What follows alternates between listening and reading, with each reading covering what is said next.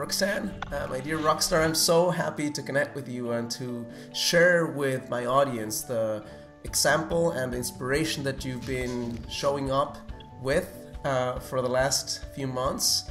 Uh, you're someone that I felt so blessed to be able to help, and just would like to start by asking you can you tell me a little bit about where you were in your life emotionally when we first connected? That's part A of the question. And part B is what made you say, yes, I want to do this? Let's work together. Oh my goodness. Yes, I can. and that's, then that's a, that's a, you know, it's, it's a tough place to go to because it was, uh, it was a difficult time when we met. And I remember that very, very well where was I? Uh, I was um, heartbroken, I think is where I was. I had ended a long term relationship that had been tumultuous, probably, um, yeah, pretty much straight through. And I had finally had the courage to end it. And by the time I met with you, I was probably about, I want to say like five, six months post breakup and had been spending a lot of time just really taking care of myself and connecting with that broken heart and what I wanted to learn from it I really, really, really wanted to not ever do that again. Mm. so, yes. Um, and it was, you know, it was, I was, yeah, just in a place of probably wanting to be very patient with myself and at the same time wanting to kind of okay, let's be done with this. You know, I'm I'm I'm really done with being sad and kind of crying every day and all that stuff. So, um, but it was also a, a, great time, and I had a sense that, um, which leads me to part B of your question. I had a sense that it was it was it was time for more. Um, and I had been connecting very deeply with myself, and was very very grateful to get to a place where I could say things needed to change pretty significantly in my life. Mm-hmm. That this was this was not okay. This is not how the rest of my life was going to go. I've been divorced. I had just ended a long-term relationship, and um, yeah, things were kind of sucking, and I was ready to make a change. And I remember very, very well talking with you and telling you how great my life was and how happy I was. yes. And I remember you calling bullshit. like, like, okay, I don't know what happy means to you, but I'm looking at you and you're crying. And, uh, um, and having in that moment a sense of the difference between knowing my life was a blessing and knowing my life was good and experiencing it experiencing that that what I what I knew, experiencing that, feeling that in my heart, and taking that out into the world. Because me that was showing up in the world was somebody who was heartbroken and probably really just protecting herself. Mm-hmm. And yeah, yeah. And I, I think that was probably what. Um, yeah, I think that uh, uh recognizing that you were able to see that in me and call me out. I had a sense that um, that we could do the work that it would take for me to go a lot further into um, into where I really was and what I was producing in my life up until that point. So, yeah, I think that was the moment. what would you say, uh, uh, Roxanne, were maybe a couple of the greatest insights or breakthroughs that you experienced as a result of stepping into the work, one of the things that I tell everyone that I work with is, and I didn't used to do this before, now I do, is like, this is very hard. It's not easy, it's absolutely hard, it's worth it, but it's fucking hard. So, when, what are some of the things that you went through that you felt were breakthroughs that allowed you to step into the kind of life that you have right now? Oh, um, I think one of the things, there, there are a couple of things that jump out in my mind early on. Um, one of them was seeing the disconnect between what I said I valued, hmm. what my actions were. that was um, that was painful. Uh, that it, it it hurt because I think of myself as somebody who's so aware and so connected with myself and I'm kind of a you know like a lifetime learner. I'm a student. Like I love to learn, and I'm always digging in deeper and exploring things. And to have that sense of such a blind spot in my very values, what I said I valued versus how I acted. That that was that was a bit of a gut punch, and I would say another another one which was another gut punch. Why we say this is hard. Um, so I mentioned that I was you know I was heartbroken, and probably mostly up until that point, early in our work, I was heartbroken over the relationship and what it wasn't versus what I thought it was. Mm-hmm. And um, connecting deeply with the fact that that was the best I could produce at that time, mm-hmm. in that situation and at that time. That was sobering. That was sobering. Coming to terms with this wasn't something, it would, would have been easy to blame. You know, it wasn't, there was a lot wrong with that relationship, and it was very comfortable and easy to place the blame and to deal with it as blame and to hmm. place it somewhere else. And he did this and he did that, in, you know, um, and he didn't do this. And, you know, can you believe? Can you believe? And, uh, connecting deeply with myself and recognizing um, my choices and where I was to accept that and allow that and continue to try to make that into something, you know, else was was sobering and painful. And I think it really goes to uh, what you're saying about the hard work. Mm. I mean, we, there was a time in our working together where it was finally time to let go. And I remember you were like so many women out there right now on that verge where you can go back for something that is not fulfilling you, but you're hoping that it somehow might, or saying, I'm going to take the deepest leap of faith and know that there's something that's much more of a fit for what I want. Can you tell me that moment where you finally made a decision of letting go of that relationship that you could have maybe made work because somebody showed up again in your life and said, Hey, can we make this work? And you said, No. I don't like, tell me about that, please. oh, goodness. Yeah. Um, so at that point, um, where I was continuing to hear from the ex boyfriend, and it was really just enough to mess me up. it was, you know, it was a little bit like dangling a, you know, uh, it was playing, it was playing on, it was picking up where I, I think that I was still really uh, kind of hurting about what it what it wasn't versus what I had hoped for, and kept making me think maybe it could be more, maybe it could be more what was the moment that I decided? I think there were two big things that contributed to that. One, in just a really, really tactical terms, Bern was kind of showing up week in and week out and talking to you about stuff and going, oh my God, we're talking about the same thing. This is not any different. And it's really, um, that stinks. Yeah. Okay. That's like, like, I, what, yeah yeah and um and the you know that part of that element too is you know the lovely um the lovely women that i got to connect with in our group and hear them. And it's you know it's a little easier sometimes when you hear somebody else and you go that sounds really familiar. That sounds really familiar. And then i open up my mouth and i go oh my god that sounds really familiar. So um that kind of very very honest knowing that there was never anything that was going to slide when we talked, I think helped keep that very front and center. Um, and the the the the other element of that was that I was beginning to feel what it felt like to love myself so deeply.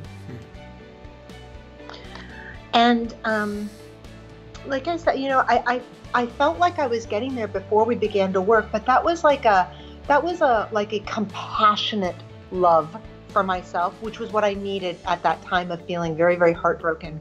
But something else was coming out as we were working together, and that was like a you know um, passionate, um, vibrant love for myself. It wasn't like just a like you know it's okay we're going to get through this. It was like look myself in the mirror and like the first thing, the first reaction was, "Oh my god, I love you." Feeling oh your magic, God, right? Your own magic. Awesome. Yes. Yes. And feeling that way, like that was that was the thing for me, Bern. That was what I wanted to get to. Hmm. If a relationship came that fit the bill, that would be amazing and icing on the cake. Hmm.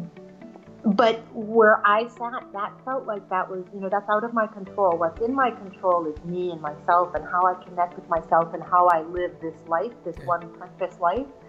And I just, that I, I was there. I was feeling that just that enthusiasm and passion for life that was so not present. And so it made it much, that was such a big step because it wasn't just saying cutting off contact with this person. Yeah. It was saying there's no room for any bullshit here. Yes. Yeah. You're, you're someone who stepped into taking massive action week in and week out, and you, not without several disappointments, but you finally got to a point where you, you met someone really special that you've been with. He's been your, your man for many months now, and uh, you fell in love. Can you tell me more about the man that you're with and how this love has manifested itself in your life? Um, yeah, I um, I I didn't believe that men like him existed. I really didn't. And uh, you know, I when I try to uh, you know tell people about about him, I like I like to summarize him. He's um, the most amazing combination of of man, like in, in the best possible sense of the word, in you know, uh, in his in the way that he looks, in the way that he protects, in the way he protects me, in the way that he protects what's dear to him, uh, in the way that he is attentive and caring, and then in addition to being this, you know, strong and honorable man that I respect so much for those things, is that he's also so communicative and so expressive with me and so just right in lockstep with me. And, and that's been an amazing aspect of our relationship from, from day one. And we just celebrated um, almost a month ago, but we're, we're almost seven months together. And continuing to really grow into that. And both of us very, very conscious and talking about how we grow together and how we build a life together and knowing that that's what we want with each other is um, it feels like a fantasy but it's just it's very it's very very real and one of the things that we both talk about is understanding very well that neither one of us were capable of producing this relationship before we met each other. Hmm. And that's that's pretty sobering. I mean it would be easy to say and sometimes i feel this way like i feel a little sad that we you know didn't know each other sooner. But i'm immediately present to me not too long ago could not have done this. Hmm. So we're very conscious of you know kind of the grace with which this all came together What would you say has been the biggest impact of this new life, this new love, and this new you? Uh, you showing up with this level of passion, openness, and radiance in the lives of your, your children, your two boys. Oh my goodness. Hmm. It is the, the oh my goodness. There's so much peace and love that has just overflowed into my home. And I'm grateful for it because I have two teenagers. So it's like I need peace and love. Yes. we yeah it's uh, b- both of us have noticed in our uh, you know the the overflow in in our home lives for our respective kids it's like it's like a magnet Bern it's they just want to be around it and soak it up my kids have commented so much to me about how our lives are different now and it's it's it's it's always such a sobering reminder to me that um, I, I'm humbled. I'm humbled by what I'm able to create for for my children now, and you know, that it was this was hard, hard earned. It took a lot of painful lessons to get us to this point, and so uh, it's all of it is something that I cherish so much. The the relationship that uh, that that we're creating, and the way it shows up at home for me and for my boys, and that you know that there's a future that is kind of all of us coming together is so beautiful. Uh, last question that I have for you is uh, what would you say to someone who's looking at this and saying, oh, this is bullshit, it's not true? I mean, like, can't happen to me. Yeah, of course, look at her, she's beautiful, and this could never happen to me. Uh, I, I, don't know if I can do this. Uh, somebody who's on the fence about doing this work and is about to either say, yes, let's go forward, or maybe not, this is not for me. What would you say to someone like that? Oh, oh my goodness. Um, I think I would say first of all, I I get it. Oh my gosh, it brings tears to my eyes. I um I get it. I remember so well what it felt like to um to be in that place. And because really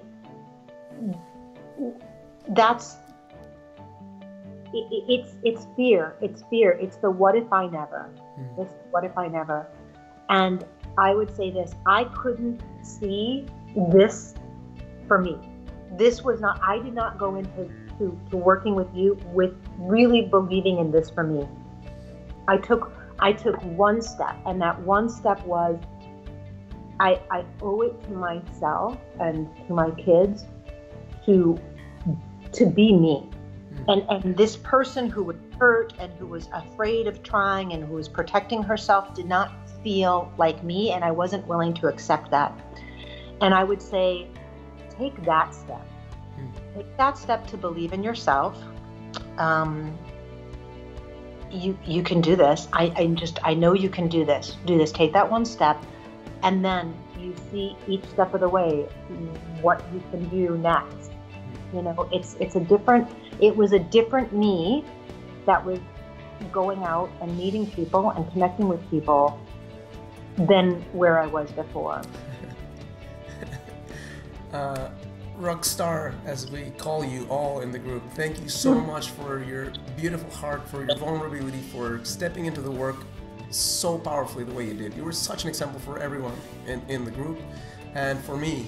Uh, specifically, I can tell you that I so admire how you've done this and the kind of love that you experience, and just seeing you fall in love with this man, and just the way he shows up for you, the way you show up for him, and it's one of the biggest blessings that I get a chance to experience seeing results like yours. And uh, I, there's no words I have to, to thank you for showing up today and for sharing your life experience with those people who, who, who want to hear more about this. So thank you for being here.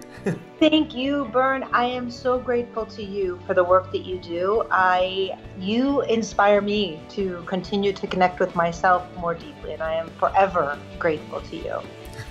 thank you.